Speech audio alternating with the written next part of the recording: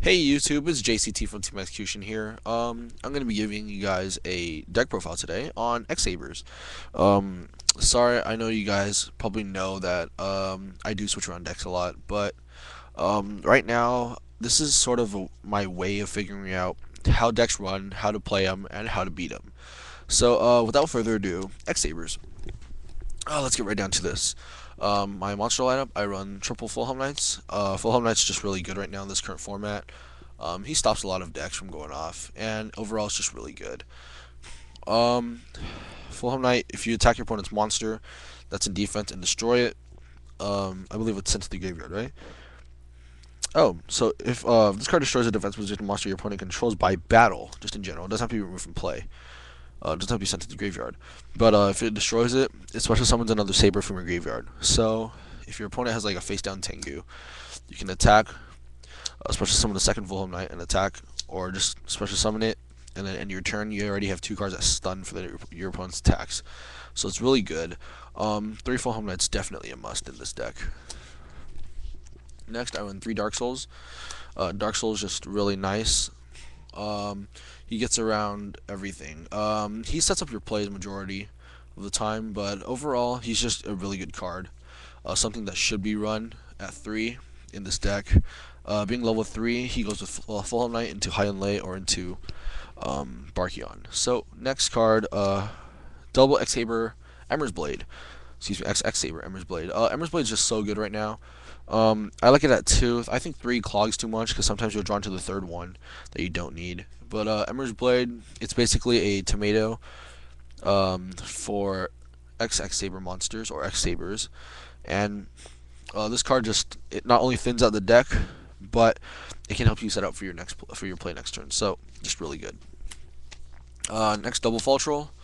Uh, Faultroll, you search him out. I'd rather search this card out with uh, Dark Soul than a uh, than draw into this card. I ran this card at three. It seemed to be too much. It was really inconsistent. But overall, uh, Faultroll is doing pretty good at two. Um, as most of you know, the Faultroll loop with uh, Ragigura, uh, I do not run it. So do not ask me. Um, I am going to try it out, though. Um, I did playtest it on DN. It was pretty nice. Um, however, it's it depends on the situation. You have to have that card. You have to have a um, Faultroll in your graveyard and a Faultroll on the field um, in order for Ragigura's effect to go off. So uh, it doesn't matter if Ragigura is in your hand or in the graveyard. It really doesn't matter. As long as it's special summon, um, Ragigura's effect goes off with Gottoms on the field. So, um, Faultrolls. Um, next, I run one Boggart Knight. Um, personally, I think two is way too much. Um, the only thing Boggart is good for right now is going into Hyunlei with uh, Pashuul. Uh, aside from that, Boggart really is not that great. Um, he's a 1900 beater. He gets over monsters. I know that. Uh, he kills Ryo, and 1000 defense is a lot better than Ryo, anyways. But the only downside is you can synchro someone with him only into an X Saber monster, to an X Saber synchro monster. So uh, that can prove to be a pretty big disadvantage at times, especially when you have this guy just in your hand, just him and nothing else. Um, I would honestly rather have a Dark Soul in my hand than this guy, um, just because Dark Soul is just more versatile and um, the only time I would really summon him is if I'm trying to make a push, number one, or number two, I'm trying to make Synchro 7. Um, but without Souza, this card is pretty much garbage right now. Um, XX Saber Air Urbellum is just complete bullshit. Uh, level 7, 20, 2200 attack points. Anything can get over that. A level 5 Catastor can get over that. Actually, Catastor can get over a lot of things, but that's not the point. Um, Gaia Knight, the Force of Earth, can get over this card. Um, can get over fucking Urbellum. Uh, sorry for my profound use of language, but um, I just really don't like Urbellum because he's really not that good. And uh, without Souza in our meta, uh, Sabers are at a really big disadvantage, especially in the current meta, um, where Souza, where uh, Urbellum just really can't stand up to anything. So, uh, one Boggart Knight, that's all I'm running. Extra, I run one Urbellum. Um, if Rescue Cat comes back, I will be swapping out my Expert Boggart Knight for a Rescue Cat, and I will bump this card up to two. But um, is just really good right now. Um, he's basically a Reaper on crack, 1600 attack. As long as he deals battle damage, your opponent discards a card from their hand. Um, this card's just really nice because uh, right after uh, after damage calculation, this effect kicks in. Um, yeah, uh, when it inflicts battle damage, so right right uh, after damage calculation, so during the uh, the damage step, this card just pitches a card from your opponent's uh, hand to the graveyard. Uh, just really nice. Uh, gets over the Gorz, but it can't it can't swap out Trag, but it can it can definitely kill the Gorz. Um, just really good. Um, I run double Pashuul. Uh, I do run the uh, reinforced truth build in my deck. Uh, it's really nice. I mean, overall, Pashuul is just really good. But uh, when he's on the field in face-up attack position, he gets really, really, really shitty. Um, especially late game when you're barely surviving on like 3,000 life points or like 2,000 life points, and uh, you have like that set warning. You're at like 2,200, and Pashuul's face down. Your opponent attacks him and ends turn. You draw into something that you can't synchro with him for, and you pass turn. Now, during your opponent's standby phase, you take a thousand points, obviously, which makes that dead, uh, which makes that face down solemn warning completely dead. So this card is really horrible late game, but uh, overall as a wall, it's better than Reaper so far. Uh, I just like this card a lot better. Also, it's Earth, so when I side uh, side deck, um, I don't get hurt as much as my opponent does. So double Pashuul is really nice. And then for the hand traps, I run one Veiler and double Crow. Um, the reason I'm running double Crow is because I don't have Max C. Um, I think Max C goes really well in this deck overall because it's just so good. Excuse me. But um, DD Crow, most most decks are running uh are running cards that involve the graveyard right now, like Tengu Plants, Dark Worlds. Um, you see Frognarch plays, um, and then you have the wind up Inzektors that honestly need to get like fucking hit by the next ban list. Sorry. Um, and then you have uh, Malefic Skill Drain, excuse me, Malefic Gear Town. I swap out crows for that. Um, I, I, I swap out I swap out my crows and I swap out my Veilers, and I run something else in place of it. Because uh, DD Crow and Effect Veiler really don't go good against Malefic Gear Town. But like Junk Doppel, or like Tengu Plants, where your opponent relies on having like that spore or that global in their graveyard for their effects to kick in, um, can get pretty shitty when you remove them from play. Especially with a uh, spore, when you banish that target as a cost, you try to special summon spore, I'll crow your monster, and then you get not only a minus one, like you lose your, you don't just lose your lone fire, but then um later on you can't reborn it. So you're it forces your opponent to go to the Levier, which means you um that solemn warning becomes live, or that effect veiler becomes live. So uh, just overall, this is my hand trap for this current format. Um, I will be bumping effect veiler up to two when I can get a second one, uh, possibly three, because this card is just so good. It's also a level one tuner, and um, sometimes I can go into formula. So um, yeah, just occasionally. But that's it for the hand traps. And uh, lastly, I run one Gorz. Um, Gorz is just amazing in this deck. Honestly, this card is like a staple in every single deck right now. Because not only is he so good, he's level 7. So if I summon that Effect Veiler, I can Synchro 8 and grab my a Stardust or a Scrap Dragon, pop my token, and pop and just kill opponent's monster or their back row and just swing. So uh, Gorz is overall really good. Um, he's good against Chain Burn because when he comes out, uh, your opponent usually has to knock him off the field in one turn. oh, God, my throat hurts. Ow, ow, ow. Okay. Ow, that burned. Okay. So, um, Gorz level 7. He's just a really nice card, 2700. Uh, it's a staple. I think that's self-explanatory as far as what Gorz does. So, uh, one Gorz. Now, moving on to my spells. Sorry, this is going a bit slow, but I'm explaining everything along the way. Um, first you have the staples. This is, these are basically just staples. There's really nothing else I want to run. I don't run Saber Slash in this deck. Um, so you have uh, Heavy Storm, Super Dark Hole, uh, Book of Moon, Mind Control, and Reborn. Um, this is basically all you need right now, um, along the, for the staple lineup. Um, then you have your two uh, toolbox utility cards. I might bump up, um, which are Ta-da, right here. Enemy controller. Enemy controller is so broken. Oh my gosh, I cannot emphasize how broken this is. Your opponent has a Spirit Reaper. Activate enemy controller. Destroy it. Okay? Next, your opponent has like a, a Tengu in attack mode. Enemy controller. Put it in defense. Attack it. Fulhelmknight. Affect special summon a monster and attack again. Um, enemy controller just provides so much utility in this deck. It's ridiculous. Um, and not only that, but um, you can switch your opponent's monster from attack to defense, or you can tribute your Dark Soul to control your monsters and search in the end phase.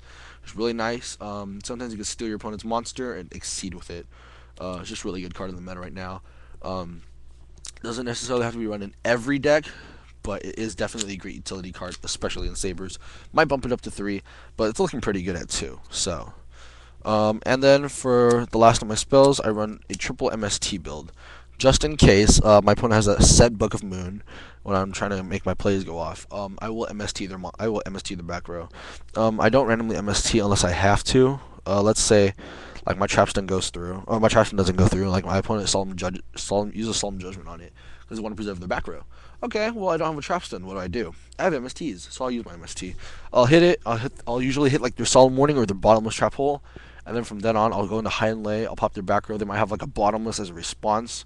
Um, but aside from that, they really won't have anything else. And my uh, Hyunlei's effect will resolve um, backwards, so it's just really nice. Um, that's pretty much it for my spell and trap card lineup. Um, I don't think I have to go through uh, explaining the staples. So moving on to the traps. Um, I run two Gottoms' Emergency Calls. Gottoms' E-Call is just so good right now. Um, it provides so much utility to the deck. Uh, not only because when you have mirror matches, uh, this card can become live. As long as there's a Saber monster on the field, you can activate this card, which basically steals your opponent's uh, Saber monsters. It's from either player's graveyard and special summons it. So, uh, really good card. Um, Gottoms' E-Call is just so good right now. Um, yeah, uh, that's pretty much all I have to say about it. It special summons your monsters and it helps you just go for game. So next I run the Solemn Brigade, one Solemn Judgment and double Warning, um, Warning and Judgment. Um, the these cards are so good right now, um, just because they're freaking broke. Um, number one, Solemn Judgment just negates everything, and the Solemn Warning just negates any summon. So it's really good. Counters Call the Haunteds, counters um, counters Monster Reborns. And uh, yeah. So next, uh, one of the key cards to the deck, Trapstun. Um, I know Trapstun hasn't been seeing a lot of play, especially in Sabers. Now that people are running like Forbidden Lances there and everything, um, they'll just go, "Oh, I summon Hyunlei. Okay, I have a lance face down. I mean, not I have a lance in my hand. I should be good." Opponent activated Solemn Warning. Oh no, what do I do? Nothing, because you can't respond with Forbidden Lance. Now, that's one of the reasons I run Trapstun. A second reason is Trapstun is so much better than Forbidden Lance in so many occasions. Because usually when I Trapstun, I'm going for a huge play. When I Trapstun, if you try and negate it, that's fine. I'll just drop a judgment on you. That's fine. I'll pay half my life points, but it's totally worth it when you're pushing your game. Um, Trapstun is just so good right now, um, especially in Sabers, especially in Sabers when Hyunlei is just receiving, uh, just has so much back row hate and just says no to Starlight Road. Um, your opponent really can't do anything um, at best they can um, just seven tools or use I don't know like dark bribe and get over it and just get yourself a plus one. So I mean Trapstun's just really nice. Um, overall, I really like it. It's just it's so good. So Trapstun, hooray, hooray for Trapstun. And if you're an X Saber player and you're not running this, you need to like seriously die or something because Trapstun is so good. Um, if you're not running Trapstun, you like just seriously and you just get a backhand yourself because Trapstun um, it provides so much utility to the deck. Uh, it provides a lot of consistency. Sometimes it can be a dead draw though compared to Lance, when, like Lance is for everything. But like if your opponent tries to MST it um, during their turn, and they're like trying to use Call the Haunted, um, so they'll they'll go um, MST, okay, and then they'll target your Trapstun, and then they'll chain Call the Haunted just to make sure you have no response, and you just chain Trapstun on top of it. So then Trapstun's effect resolves backward. Call the Haunted has no target. It becomes null and void for the end of the turn, meaning your opponent can't summon any monster at all. So it's just really good. And on top of that, um, I don't run Decree in this deck because I've seen I, I've seen the Saber build with Decrees. It does not go well because you do need the traps, but you want to be able to activate the traps during uh, whenever you can. So you want to be able to control um, when traps can be activated and when they cannot. So Trapstun is just really good in this uh, situation. And then next I run two D prisons. Um, I like D prisons. D prisons are really good. Um, it stops the Stardust. Um, if your opponent's like trying to attack for game uh, with like a Stardust or something, just D prison the monster. Um, overall, it's just really great. Um, it gets around the Logias, uh, especially like when you use um, when you use cards like MST to try to hit one of their back row, they have no response. So that I mean they have a response, so they'll just like they'll pitch it with Logia because it'll probably be like a solemn judgment or something, and then they'll attack you. You'll use D prison, and they either have to like waste their judgment just to get rid of a prison, or attack into it and lose their monster. So, um, prison is just really good overall. Um, just keeping it two might might take it out. I'm I'm thinking about it. I mean, it has seen a lot of good plays, but overall, um, sometimes it's just really not good at open with first turn because when you just set this and like a trapstun, um, your opponent's gonna attack. And you're expecting your opponent to attack you with it, like with one of their monsters, and then you activate D Prison, and then that's fine. And then when it's your draw phase, you activate the Trap Stun. Usually that's how I play, but like sometimes my opponent opens with heavy, so then that D Prison becomes like a complete a complete failure. So, um, yeah, D Prison, just really good card overall. I mean. Uh, one reinforced truth for that partial summon. Uh, really no explanation. Your opponent tries to MST, you just chain it. They waste their MST. So, uh, one Torrential and one Dustshoot. Um, Torrential and Dustshoot. Uh, pretty much the best stable combination right now in the current meta. Um, because Trap Dustshoot just it negs your opponent first turn, and it basically says no to that draw that they need. And not only that, um, you show them your hand, and then I mean, they show you their hand, and you get to predict what moves they're gonna make that you can counter. So um, that's pretty much it for the main build of my sabers. Uh, that's for the main deck. Um, I won't be covering spells. Uh, excuse me, I won't be covering side deck or extra deck uh, for now, um, because uh, you know I've noticed a lot of people have been sort of ripping off my uh, off my videos. So I've decided that um, I will not be posting up my side deck and or extra deck for uh, certain reasons. So um, that's pretty much it. Um, if you have any questions or comments, then feel free to just PM me or something. Um, aside from that, uh, JCT from Team Xcution signing out.